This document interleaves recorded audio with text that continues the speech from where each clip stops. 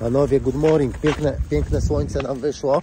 Koka kupiona, zobaczcie. No koka kupiona, że był dobry dzień, żeby nam w końcu zaczęło krypto napierdalać. Napierdalać, ale nie w dół, tylko w górę. Tak? I zobaczcie, wczoraj pokazywałem wieczorem parę trade'ów.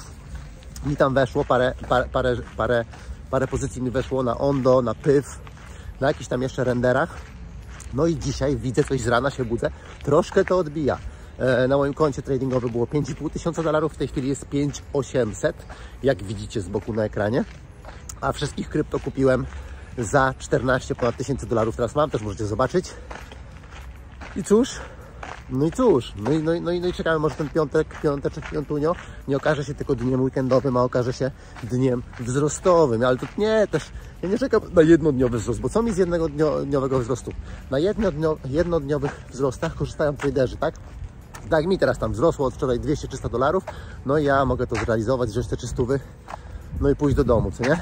Ale ja chcę po prostu wejść, dlatego tak się nisko poustawiałem, czekałem na spadek, żeby spadło, żeby weszło, a potem już pompowało razy 10, tak? W następne 12 miesięcy. I na przykład, jak wejdą mi krypto za 14 tysięcy dolców, na przykład, jak mi wejdą krypto za 14 tysięcy dolarów i urosną razy 10, no to to będzie razem ile? To będzie 140 tysięcy dolarów. Ja na coś takiego czekam. Nie na takie zabawy, wejść, wyjść, wejść, wyjść, bo takie wchodzenie i wyłażenie to wiecie czym, czym się kończy, nie? Wsadzisz, wyciągasz, wsadzisz, wyciągasz. Takie rzeczy mogą się co najwyżej e, skończyć e, albo ciążą, albo wielkim stresem. To się stresujesz. No zobacz, tak wsadzasz, wyciągasz, wsadzasz, wyciągasz. To jest stres. To jest po prostu stres. Lepiej raz wsadzić i potem poczekać z rok, czy tam pół roku i dopiero wtedy wyciągnąć, a nie tak co pół sekundy wsadzasz, wyciągasz, wsadzasz, wyciągasz. To nie jest nic naprawdę fajnego, panowie. I z tym Wam zo- zo- zostawiam, z tym Was zostawiam. Z tą piękną myślą i z tym pięknym słońcem na dzień dzisiejszy. Dobra, chłopaki, no zobaczcie, wczoraj już wszyscy byliśmy y, posrani, tak? Ja nawet jak po Biedronce chodziłem, to też byłem zesrany. A tutaj na wykresie widzicie jednodniowe świeczki. Ta świeczka z wczoraj, ja wam ją pokażę, poczekajcie. Ona jest taka ładna, Zaznacz, zaznaczmy ją. O tutaj. Ona jest ładna z tego względu, że ten knot jest taki długi i został wyciągnięty, czyli cena sobie spadła, tak, zobaczcie. Cena spadła. O, zobaczcie, jak popatrzymy na dłuższy wykres sobie, jak widzicie ten taki kanał, ten tą bull flag, to w środku jego, wczoraj odbiliśmy się tak jakby od środka, tak, tego, tego kanału. No tak to wychodzi. Ale tu ważniejsze i tak jest dla mnie to, że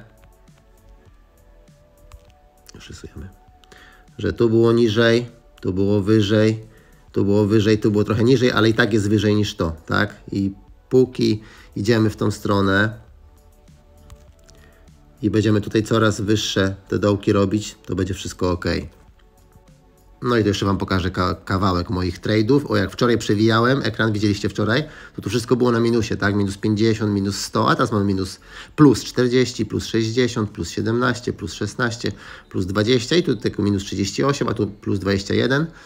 No, a 5900 już jest, przed chwilą mówiłem 5800, już jest 5900, a było 5500, czyli 400 dolarów do przodu. To jest na razie optymistyczne. Fajnie to dzisiaj mi się, bo dzisiaj jeszcze jakieś zlecenia wsadziłem sobie, że tak powiem. Czekajcie, na renderze nie, na tym PYW chyba. PYW tak zwanym. Dobra, wejdziemy w niego. Zobaczmy na wykres. O, patrzcie, ja tutaj właśnie, gdzie ta zielona, o te takie B, to tutaj właśnie zrobiłem zakupy. I dosłownie zrobiłem te zakupy, czekajcie, wejdziemy na 5 minutówkę. O, patrzcie. Tu zrobiłem takie, B, B, B, B. I jak po tym B kupiłem, trz, wyszczeliło do góry. I miejmy nadzieję, że będzie strzelało wyżej i że już nie będzie spadało. Chociaż oczywiście chciałbym, żeby na chwilę spadło, tak, te zlecenia, żeby się wypełniły tutaj i poszło do góry, ale to już jest ryzyko. Jest ryzyko, bo jak wejdą mi te zlecenia, a spadnie jeszcze bardziej, to mi one zostaną zabrane. Ale i tak jest coś fajnego, pokażę Wam jeszcze coś fajniejszego, czekajcie. Że zobacz, tak zobaczcie, naprawdę tutaj tej mojej kasy to jest powiedzmy tam było 5000 dolarów, tak? Mojej kasy, tak naprawdę było 4, ale dobra, 5000 dolarów swoich wsadziłem, czyli za 5000 dolarów to co, kupisz sobie jakieś stare auto, tak? Mam 5000 dolarów, ale gram jakby prawie 15 tysiącami. I wystarczy, że to wszystko pójdzie razy 10, no to z, z moich 5000 dolarów będzie 150 tysięcy. Czyli ze starego auta albo z roweru nowego za 5000 dolarów można kupić za 150 tysięcy dolarów no, mieszkanie fajne w dużym mieście. No, tylko do tego nam potrzeba czego? Potrzeba nam czasu i tego, żeby krypto altcoiny zrobiły razy 10. No ale jeśli Bitcoin ma zrobić 260 tysięcy, jak mówią panowie, niektórzy, w krawatach i bez krawatów też, no to altcoiny spokojnie zrobią razy 10, niektóre nawet razy 20.